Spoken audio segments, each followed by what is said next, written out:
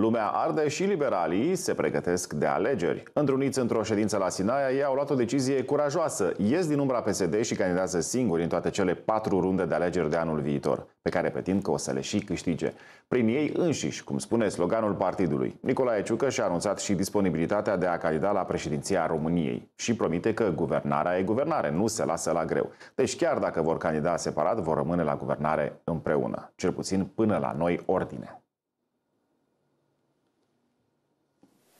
Cu unanimitate de voturi, decizia a fost adoptată ca Partidul Național Liberal, folosind motoul istoric al partidului, prin noi înșine, așa cum de-a lungul timpului am reușit ca prin acest motou, care nu este doar al Partidului Național Liberal, este al nostru, al românilor, am reușit să depășim momente grele din istoria noastră, tot la fel cu optimism și cu mobilizare, cu ambiție, cu unitate, cu solidaritate, Partidul Național Liberal va aborda anul electoral 2024.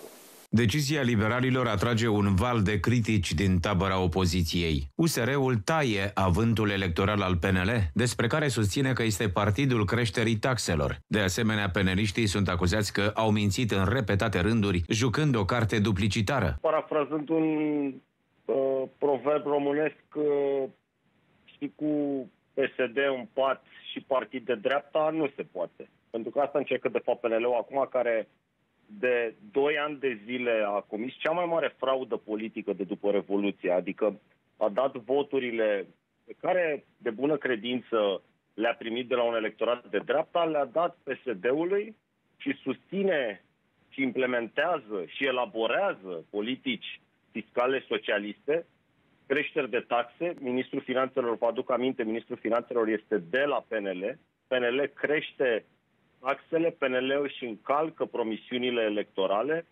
PNL a încălcat promisiunea de a nu crește taxele și a încălcat uh, din acel program de guvernare, știți, a fost eliminarea supraimpozitării, a fost introdusă această supraimpozitare a contractelor part-time la loc de PNL anul trecut.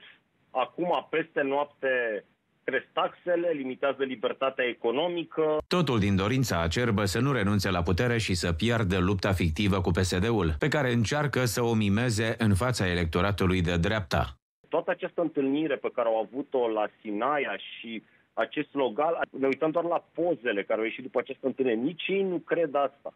Singurul lucru pe care și-l doresc uh, și pe care speră să-l poată pune în practică este să guverneze psd dar cumva printr-o minune la anul să primească voturi de dreapta.